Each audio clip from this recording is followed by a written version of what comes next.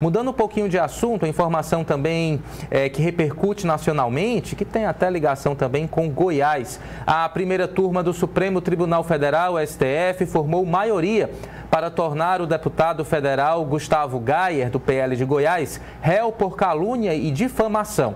O relator do caso, o ministro Alexandre de Moraes, votou a favor de tornar Gayer réu os ministros Flávio Dino, Cristiano Zanin e Carmen Lúcia acompanharam o voto do relator. Falta o voto do ministro Luiz Fux. Esse caso se refere a uma queixa-crime apresentada pelo senador Vanderlan Cardoso, do PSD, contra Gayer pela prática de calúnia por quatro vezes e difamação por três vezes. Gayer é acusado desses crimes por conta de um vídeo que publicou no Instagram em fevereiro do ano passado passado, dizendo que senadores foram comprados, ameaçados e pressionados para votar em Rodrigo Pacheco, do PSD de Minas Gerais, para a presidência do Senado. Situação complicada para o deputado Gustavo Gayer.